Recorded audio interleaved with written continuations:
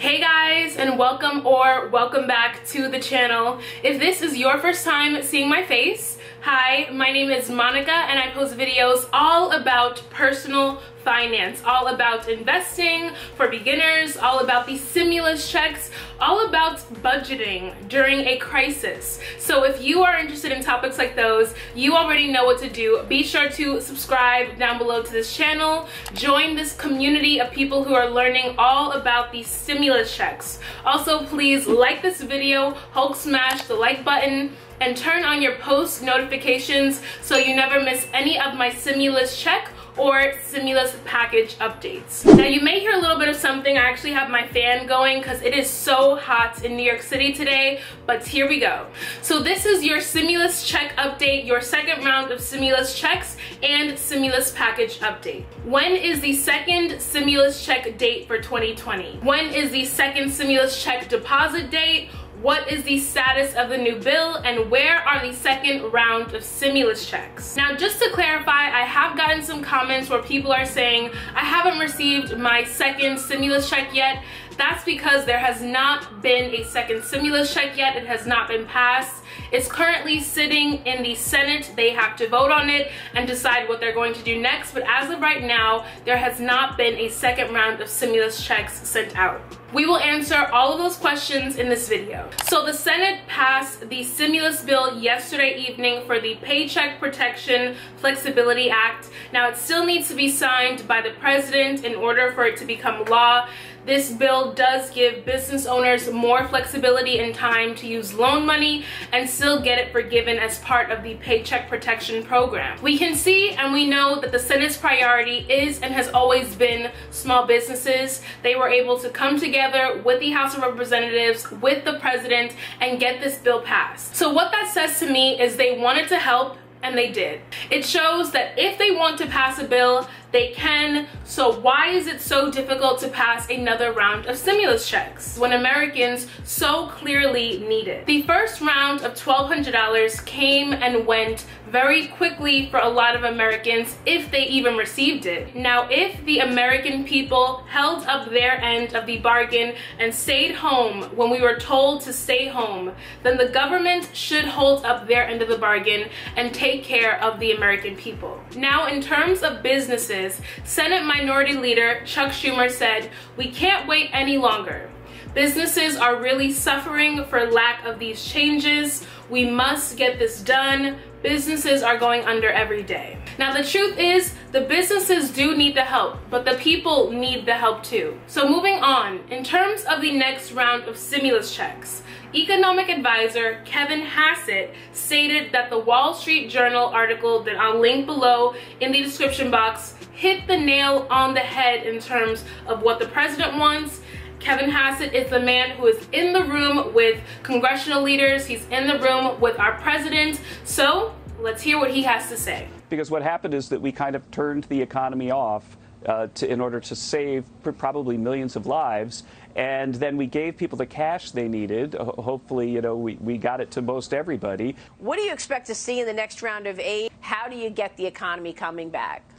You, you, know, Maria, that, that when, as you know, that when you're in the White House, sometimes you're surprised to see that, you know, when you're having meetings and stuff, that all of a sudden you read about it in the paper. And the Wall Street Journal wrote a long article about it that seemed pretty well sourced. It was pretty accurate. And so we are absolutely meeting this week. We're going over what we think should be in the Phase 4 deal, and we're going to try to reform unemployment insurance so the factor you uh, suggested goes away. The president's team is working on putting together a set of proposals that are meant to get us back to work, that are meant to get us back to our normal way of living. This includes going out to restaurants, taking vacations, and this is all in an effort to jumpstart the economy as quickly as possible. What our congressional leaders are not understanding is people who are without income, who are without money, are not thinking about going on vacation. They are not thinking about going out to restaurants. They are actually thinking about how they're gonna pay their rent for this month for last month and the month before because they haven't gotten their stimulus check yet. A lot of people are food insecure, so they're not looking to go out to restaurants, they're actually looking to eat at home. Now, President Trump is meeting this week with his economic team to discuss different options for the next round of stimulus, which could include reforms to the current unemployment benefits, according to White House advisor Kevin Hassett. Now, we all know about that extra $600 a week bonus that is the pandemic unemployment bonus, and it's been going on since April. It's going to end in July, and that bonus has really been helping a lot of people get through this pandemic. Pandemic, generally speaking, people are making a lot more on unemployment than they would if they were working, which of course is a disincentive, meaning people do not want to go back. Now this extra $600 a week is truly a disincentive to go back to work. If you're going to make more money on unemployment, why go back to work, risk contracting the virus, why work all of these long hours to make less money when you could be home and safe with your family making more on unemployment. Now the hard truth is that a lot of the jobs that people once had will not be there when we fully reopen our economy. Companies have been saying they will be hiring less than half of their workforce back, meaning we will still have a lot of people unemployed. The back to work bonus would also end on July 31st, which is the same day unemployment ends. So if you had to choose between getting an extra $600 a week on unemployment or going back to work with this extra $450, which would you really choose? I think most people would choose to receive more money. Now the administration is considering reducing those $600 a week payments down to $250 or maybe even $300 a week during the second half of the year. Another option would be to set the payments as a share of the worker salary, meaning that you won't make quite as much, obviously, as the 600 a week, but you'll be making a portion of your normal salary. But that option would be a lot more complicated because then states are gonna have to do all this math, calculating the percentage of who got what and who whatever. That sounds like a much more complicated way of fixing the problem. Another proposal introduced by Texas Representative Kevin Brady would give workers a one-time payment of $1,200 or two weekly payments of $600 when they go back to their job. Administration officials have said We've been through the rescue phase and we're now in the transitional reopening phase.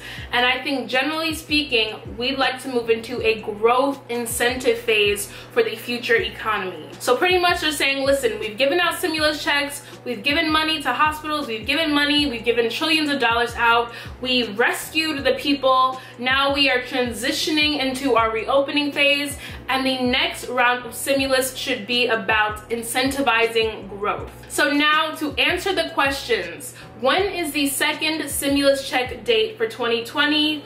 When is the second stimulus check deposit date? What is the status of the new bill and where are the second round of stimulus checks? So to answer that, the White House predicts the size and details of the next package won't be completed until July. And they will depend in part on the success of the state level reopening and whether our economy starts going back up. Because we keep hearing about this V-shaped recovery. We went down, we went down because of the virus. Now the goal is for us to go up. Now the bottom line is we need money in order for our economy to go back up, which circles back to stimulus checks. So we know what will determine how much money we get in the next stimulus package is really based on the success of our state level reopenings and whether the downturn reverses. White House officials are continuing to bet on a V-shaped recovery in which the economy rebounds this summer and continues to grow into next year. Now, while many economists have projected economic activity will begin to pick up over the coming months, they see a slow and long recovery ahead. So let me know in the comments down below what you think of all of this. There's a lot going on in terms of stimulus or lack of stimulus. So let me know what you think Congress should do. Please let me know your opinions on the $1,200 stimulus check versus the $2,000 stimulus check monthly stimulus checks. We always have really great conversations in the comments. So that is the end of the video. Be sure to like, comment, and subscribe. And I will catch you all in my next stimulus check and stimulus package update.